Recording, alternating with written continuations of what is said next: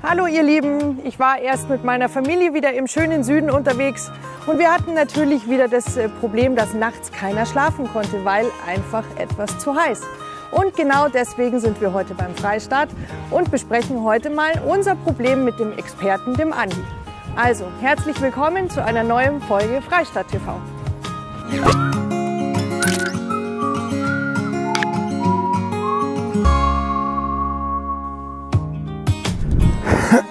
Doch mal rein, wo unser Experte ist.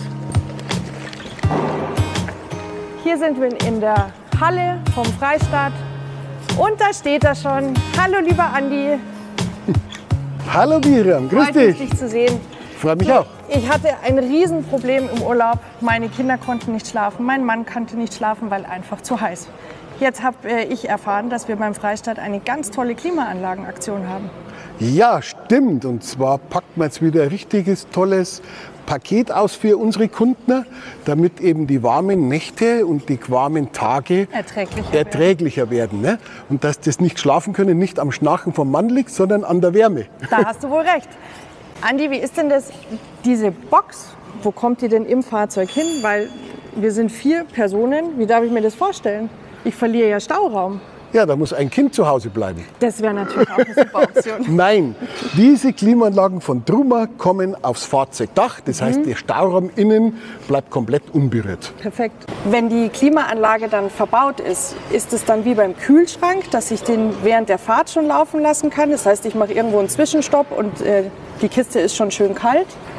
Oder Nein, das geht nicht. Also das wird am Markt angeboten, aber die Praxis zeigt, dass die Kapazitäten, die in der Batterie vorhanden sind, in den meisten Fahrzeugen, wie auch die Verkabelung im Fahrzeug nicht ausgelegt ist dafür. okay.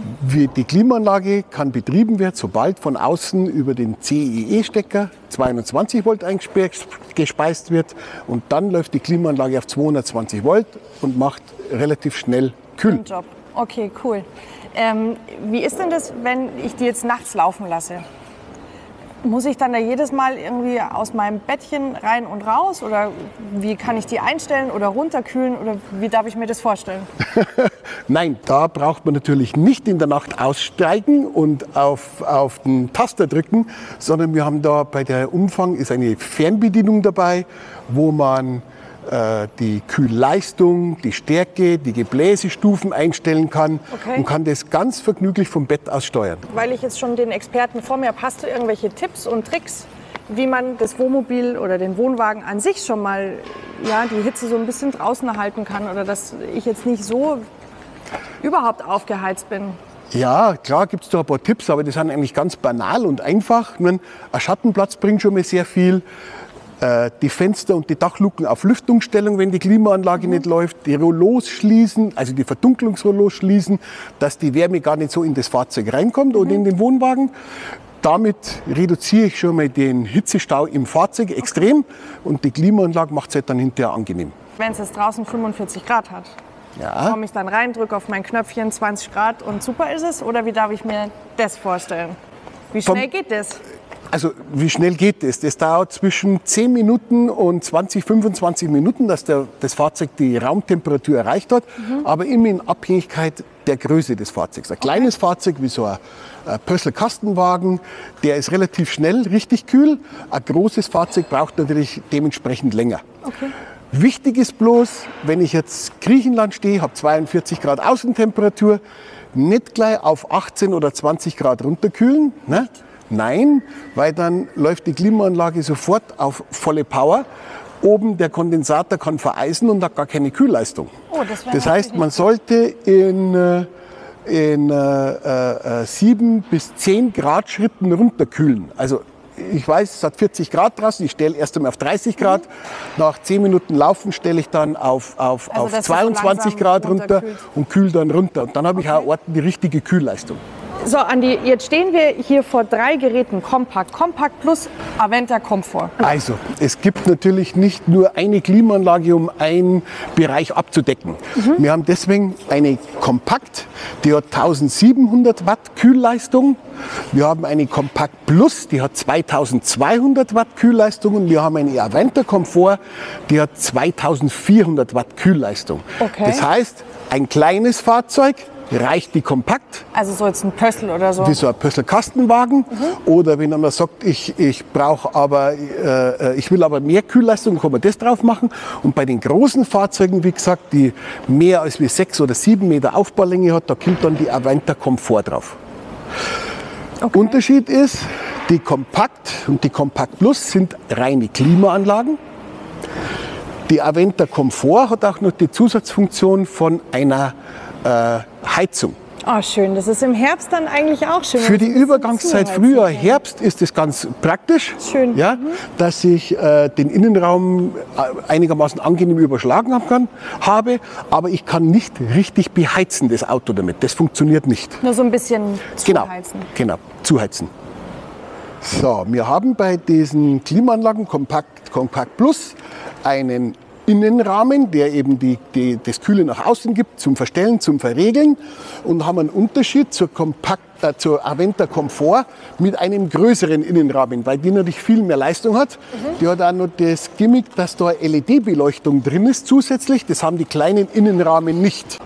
Passen äh, diese ganzen Klimaanlagen auf jedes Fahrzeug oder gibt es da Unterschiede, die man beachten muss? Ja, also es ist so, ähm, die kleinen, in Anführungszeichen von der Gehäusegröße, die kleineren Fahrzeuge kommen auf die Dächer, wo wenig Platz vorhanden ist. Wo viel Platz vorhanden ist, kann man auch die große Klimaanlage montieren. Das sehen wir jetzt hier bei dem Pössl. Der hat ausreichend Platz hinten, also ist da die große draufgekommen, weil das der Wunsch war vom Kunden. Okay. Die Einbausituation ergibt sie immer anhand des Fahrzeugs. Wenn jetzt auf einem Fahrzeug schon Solarpaneele verbaut sind, Satellitenanlage verbaut ist etc., müssen wir erst einmal feststellen, wo hat denn das noch Platz auf dem Dach? Müssen wir einen separaten Ausschnitt machen? Müssen wir das in eine bestehende Dachluke verbauen? Solche Dinge müssen wir halt vorab klären, bevor wir zu einem Termin vereinbaren. Aber dafür haben wir ja euch. Wenn ihr mir jetzt da so ein Klimaanlagen-Superteil verbaut habt, wie ist denn das mit der Wartung und der Garantie? Kommt da viel auf mich zu oder wie? Nein, da ist also nicht viel Aufwand. Das heißt, einmal im Jahr sollte die Klimaanlage, die Innenlüfter gereinigt werden. Da sind da so Filterstreifen drin, die getauscht werden sollten oder man, man wascht sie aus. Ja? Macht ihr das oder muss ich das selber machen? Das kann man oder? selber machen. Das ist in der Bedienungsanleitung auch wunderschön beschrieben. Oder wir machen das gerne, gar keine Frage. Okay. Garantie haben wir ja hier, wenn das verbaut ist, zwei Jahre, ganz normal, vom Gesetzgeber ja geregelt.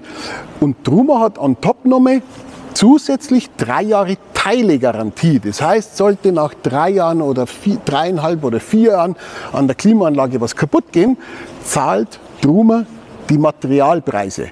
Nicht die Arbeitszeit, aber die Material, was da kaputt ist, das zahlt Truma dann. Also wenn mir da jetzt so eine Strebe irgendwie kaputt geht oder so oder ja gut, so eine Strebe geht nicht einfach so kaputt. Ja, aber wenn jetzt im, im Klimagerät selber was undicht wird, was kaputt geht, der Klimakompressor oder sonst irgendwas, das wird dann Truma. die Teilegarantie von Truma trägt da und der Kunde hat nur die, den Lohnkosten zu zahlen. Super. Finde ich eine super Sache. Super, sehr cool.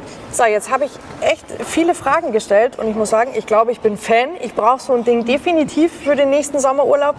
Aber jetzt müssen wir auch mal über Geld sprechen. Was kostet mich denn eins dieser? Ja, jetzt kommt unsere angenehme Seite. Da kostet auch äh, der Einbau und das Material etwas. Aber wir haben da einen super komplett Vorzugspreis gemacht.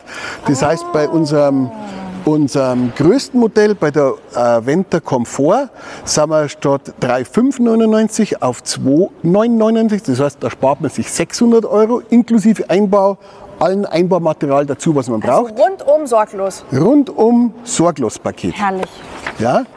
Und bei der Compact Plus und bei der Compact, wie gesagt, haben wir st- anstelle bei der Plus 3399 2799 und bei der äh, Compact mit 3199 nur 2599. Das heißt, alle Anlagen werden mit 600 Euro von uns bezuschusst. Als Sonderaktion. Wo darf ich unterschreiben? Oder wie nehme ich da teil? Wir haben für diese Aktion, das hatten wir auch letztes Jahr im Winter schon gemacht, extra E-Mail eingerichtet, die heißt Aktion der, derfreistadt.de. Da schreibt man eine Mail hin. Ich bin der Herr so und so, habe einen Wohnwagen, Reismobilmarke etc. ppp. Und ich hätte gerne eine Klimaanlage. Und da wäre es natürlich toll, wenn Sie da schon Ihren Fahrzeugschein mitsenden, ein Foto oder eine Kopie, ein Bild vom Fahrzeugdach außen und vom Fahrzeugdach innen, damit wir schauen können, wo hat denn das überhaupt Platz auf dem Dach oder mhm. macht es gar keinen Sinn.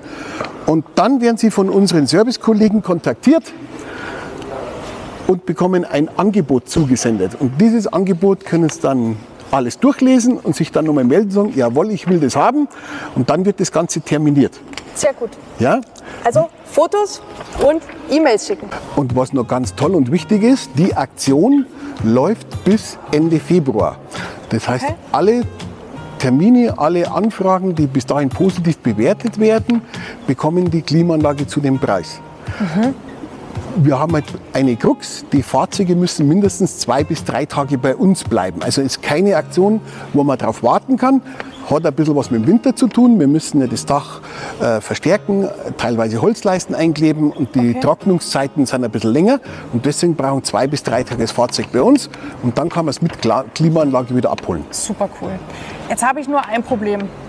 Mein Mann würde sich niemals auf unseren Camper so eine weiße Klimaanlage draufbauen. Ja, das ist bedacht worden bei uns und haben wir auch ganz gut gelöst oder besser gesagt drüber gelöst. Diese Klimaanlage gibt es jetzt in weiß und in schwarz Außengehäuse. Das heißt, der Kunde muss nur sagen, ich hätte gerne eine weiße Klimaanlage oder eine schwarze Klimaanlage. Preis bleibt gleich. Sehr gut. So, lieber Andi, dann äh, vielen, vielen Dank. Ich bin jetzt auf jeden Fall schlauer. Ich hoffe, ihr auch. Ihr könnt euch jederzeit beim Andi melden mit Fragen und allem. Mir hat es super viel Spaß gemacht. Ich danke dir. Ich hoffe euch auch. Und alle, die unsere Videos sehen, denkt bitte dran, Social Media, schenkt uns ein Like und wir sind glücklich. Bis dann. Tschüss, Tschüss. ciao.